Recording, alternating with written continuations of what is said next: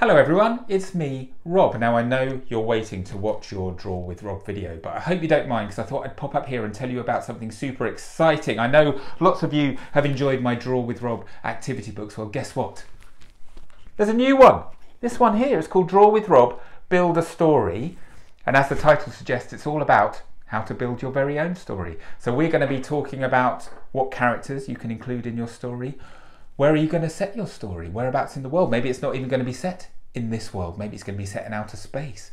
When are you going to set your story? Is it going to be in the present day, in the past, or in the future? We're going to be talking about beginnings, middles, and endings.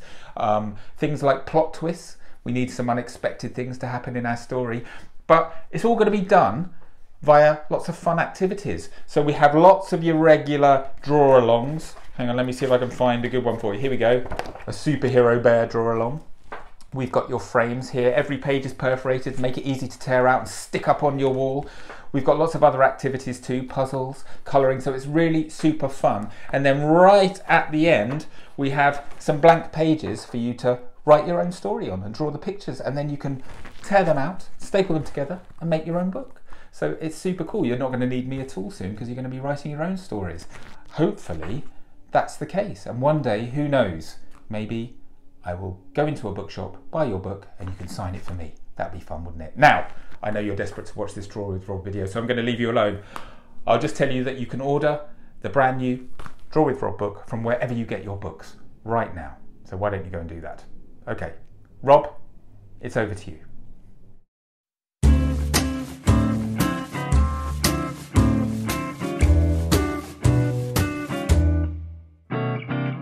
Hello, everybody, and welcome to another episode of Draw with Rob, with me, Rob Biddulph. It's lovely to have you here today. Now, then, I'm a children's author and illustrator. You might have seen some of my books before, like this one, Blown Away, my very first picture book that I wrote and illustrated. It's all about Penguin Blue here, who goes out flying his kite on a windy day and he ends up getting blown away. Maybe you've seen this, my latest picture book, Doggone, out now in paperback all about Teddy who loses his human. Look, there he is. There he is with his human. They have lots of fun together. One day he wakes Dave, his human, up, says, Can we go for a walk? Off they go out for a walk, but then something happens. Let's see. There's some squirrels involved. Look, squirrels here. Teddy runs after the squirrels because look, they've dropped. Can you see? They've dropped all their acorns. He runs after them and says, You've dropped your, you've dropped your acorns, guys. Here you are.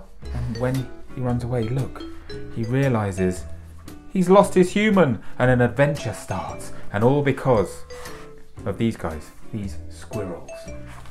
So I thought today I would show you how to draw a squirrel. What do you think? Squirrels are pretty cool. I like squirrels. I see lots of squirrels every day when I take my dog Ringo out for his walk, we see lots of squirrels in the park near to us, and I really like them. They're really cute and sweet. And Ringo likes them too. Sometimes he likes them a bit too much, actually. He tries to chase them, but not very often because he's he just doesn't really notice them. He's too busy sniffing the ground nearby. Anyway, squirrels are fun to draw. So, this is what you're going to need. A piece of paper, a pen or a pencil, and then maybe something to colour with a bit later on. This is how Draw with Rob works. We're going to do this drawing together, okay? Lots of you, if I was just to draw a squirrel here, finished squirrel, and said, right, copy that, it might be a bit overwhelming. And you might think, oh, I don't know where to start. So that's where I come in, because I can show you exactly where to start. We're going to do this drawing together, a little tiny bit at a time. I will draw the first bit here, pause me, copy what I do, start me up again, I'll draw a bit more, then you draw, then I draw, you draw, I draw, you draw, I draw, you draw. And at the end, we will end up with a lovely picture of a squirrel. Now then, this is a fun one to do. I did this at the Cheltenham Festival last year. We were allowed to do one event because it was the pandemic was happening, wasn't it? Which meant we weren't allowed to do any live events. But I managed to do one. We kept it all very socially distanced, and I went on stage at Cheltenham, and there were lots of lots of people there, and we drew a squirrel together, and it was really fun. So I thought I'd show you all how to do it. So here we go. Are you ready? Right in the middle of your page. Well, actually, slightly above centre, I would say, of your page. No, right in the middle. Let's do it right in the middle. I want you to start with a very simple V shape. like that. What an easy start. Now then, we are going to turn our V into a Y, okay? So let's just add a vertical line. Quite a long vertical line, like that, all the way down. Okay? Then at the bottom of our Y shape, I want you to add a little horizontal line. So it looks a bit like a tall wine glass or something, doesn't it, at the moment? And then coming from each end of that horizontal line, we're just going to add two small vertical lines, like that.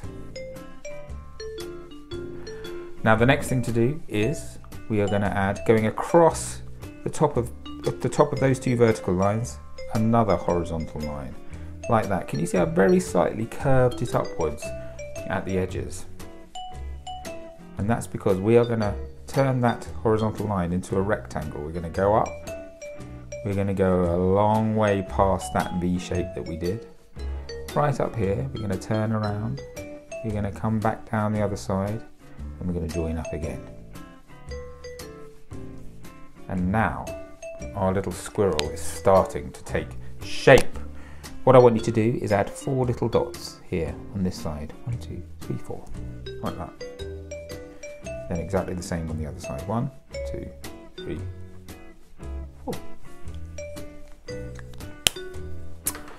Hokey dokey. Right, the next bit of our drawing.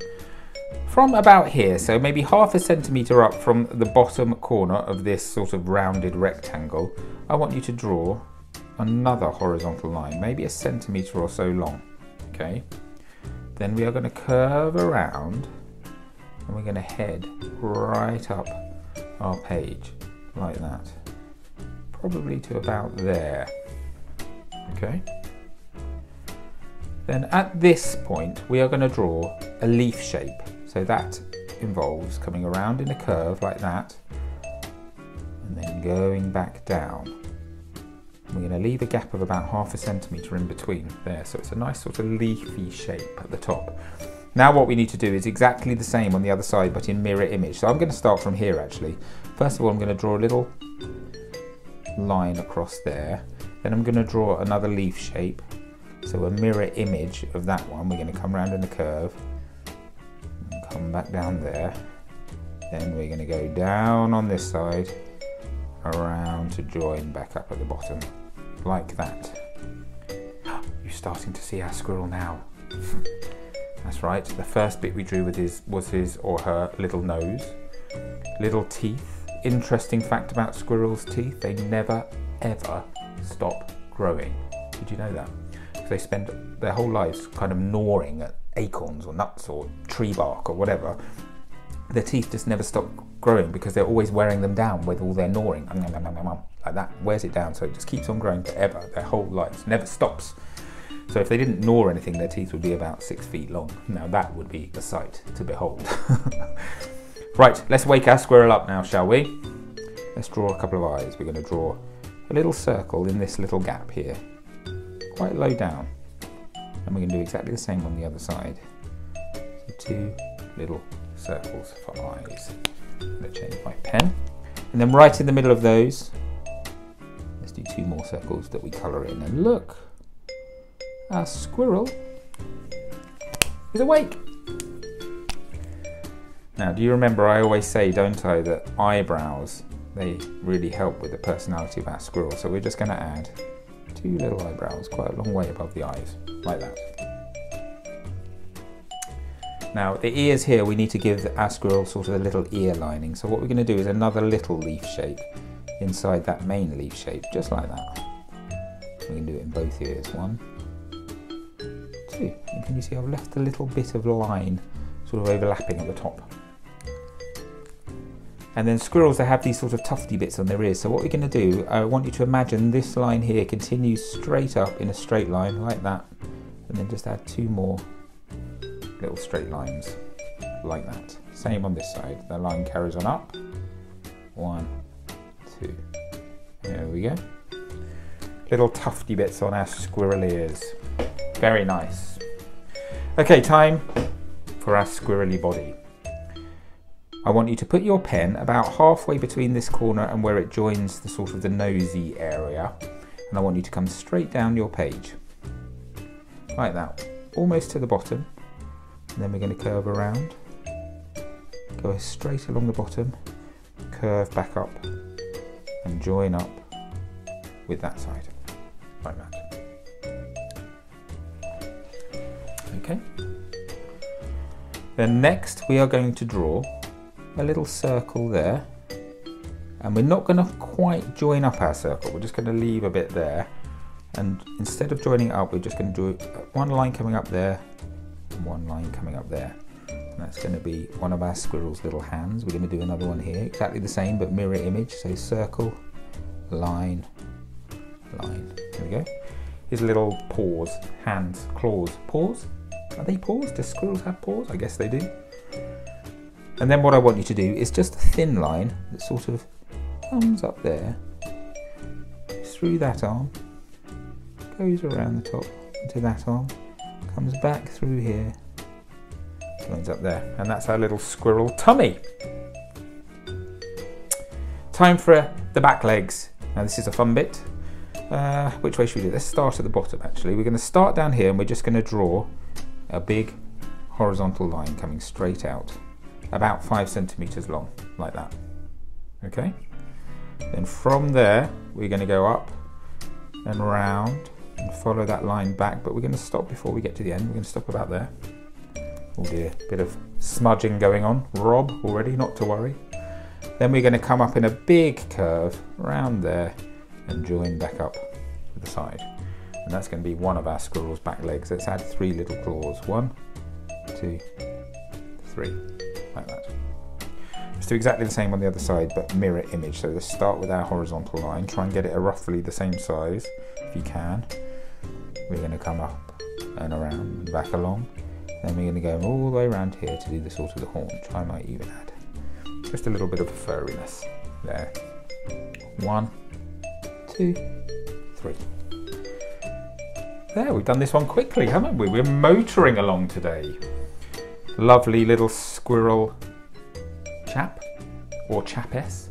Now then, what is a squirrel most famous for, do you think? What's that? The teeth? Somebody said teeth, that's true. They're famous for having these little gnawing teeth, as I spoke about earlier. Ears, yes, sure, little tufty ears. But there's one part of the body they're most famous for. That's right. They're big, bushy tails, aren't they? They, they use their tails to balance, I think, when they're climbing up trees and stuff, because they spend lots of time in the trees, don't they? And um, and when they're running along and stuff, I don't know. They can. Do you know how fast squirrels can run? 20 miles an hour. That is super fast. I know they're fast because sometimes when Ringo wants to go over and make friends with them, they run away quite speedily.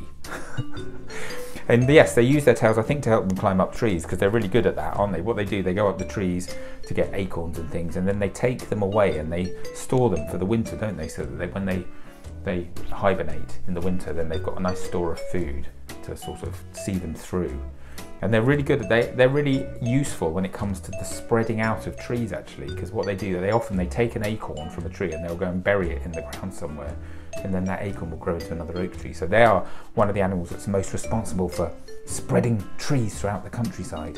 So there you go squirrel fact fans. Right should we draw this tail this is my favorite bit to do. Who knows? Who know who remembers that i like drawing swirly bits I do, don't know. On my signature, I have a swirly bit. When I do nostrils, sometimes I do swirly bits. Well, a squirrel's tail is a very nice swirly tail. So this is how we do it. We're going to come out from the foot here. We're going to come out in a nice big sort of reverse S shape. Okay, so we go out, in. And then when we get to sort of about the same height as the eyebrow, we're going to come around and we're going to do one of our, my favourite things, one of those nice swirls. Look at that lovely swirly bit. Okay. Then what I want you to do is from just above the eyebrow in this part of the head, we're going to come out and around and we're going to sort of follow the shape that we've just drawn. But we're going to come around and we're going to add, you know, we add sort of zigzaggy bits to make it look a bit sort of fluffier and furrier. And we're just going to follow that all the way around and join back up there. And look, a squirrel's tail. Isn't that nice? And if you like, you can just add a few little lines around here. Again, just to suggest a little bit of fluffiness. You can even do the same over here if you like, because they are sort of quite fluffy characters. So do you see what I've done there? I just added little lines here and there. Not much, and that just suggests that our character is lovely and fluffy. Smudge alert. How have I done that? Oh, there we go. There's the culprit. Silly Rob. Not to worry. As I say, these little mistakes, they make it look like a hand-drawn picture then, don't they? Which I really like. Right, so there we go. That is our squirrel outline. Um, shall we do some colouring? Now then, as per usual, you can colour your squirrel any colour you like, but there are sort of, in the main, I think there are two varieties of squirrel. There's the grey squirrel, which is what we see usually over here in the UK, but there's also the red squirrel. Now they are endangered. They used to be around a lot more sort of 60 odd years ago, but they have become endangered because of the grey squirrel really. I think grey squirrels came over from um, the United States actually, I think. I don't mean they got a plane. They didn't jump on a plane and fly over. I think somebody brought them over and they sort of started to spread throughout our country and they've become the dominant squirrel species. So I think the red squirrels are sort of um, I think you know the grey squirrels were maybe a bit stronger, and they've sort of they've sort of taken over from all the red squirrels. But you can still find red squirrels in parts of the country. I think there's some up near the Lake District, but I I can't really ever remember seeing one in the wild, which is a real shame because they are such beautiful.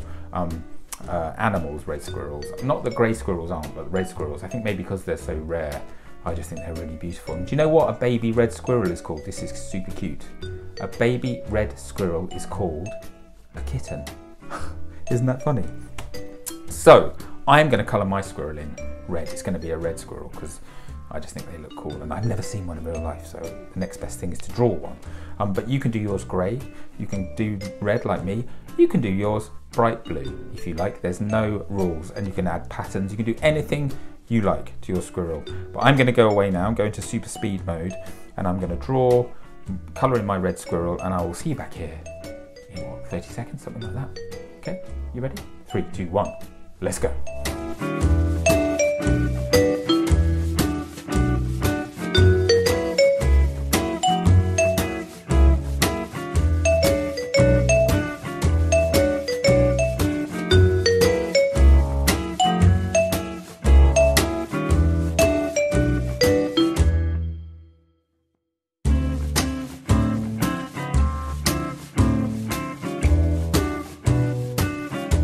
Okay, so there is my finished red squirrel. I'm pretty pleased with this. Some nice colours going on. I added a little bit of background, you will see. A bit of grass, and just a little suggestion of a blue sky background. I'm so desperate for it to be spring. I'm just kind of um, trying to will it to being spring in my uh, in my drawings and my colour palettes and things like that. So there we go. So once you've finished your drawing, you need to sign your drawing. Of course you do. Let's sign mine down here. Rob. There we go. Rob. Everyone needs to know who's created these lovely works of art, so don't forget to sign your drawing. Um, I can't wait to see your pictures. I've got a good feeling about this week. I think there's going to be lots of all, all sorts of different coloured squirrels. Do you know what? There's a black squirrel too, I think. Um, a relatively recently discovered species. I can't remember where now. If I remember where, I'll stick it up there. I think they've been discovered quite recently. Here you go, I'll put a little education station up there. Hopefully that is telling you all about the black squirrel now. Um, so yes, I'm looking forward to seeing all of your different types of squirrel. So what you need to do, you need to get your grown up to take a picture of your drawing, post it on social media using the Draw with Rob hashtag as per usual. That way I'll get to see it. And then who knows, maybe your drawing will be in the grid at the end of the week. Um, I've had a lot of fun drawing this picture with you this week. I hope you've had fun drawing with me. Um, I'm going to be back very soon um, with a brand new Draw with Rob video. Until then, everybody, please take care of yourselves. Um, carry on drawing, keep those pencils sharpened. Remember, go slow when you get to the edges, when you're colouring in, all that sort of thing. Keep practicing. And um, I will see you soon for another episode. Take care, everyone. Bye bye.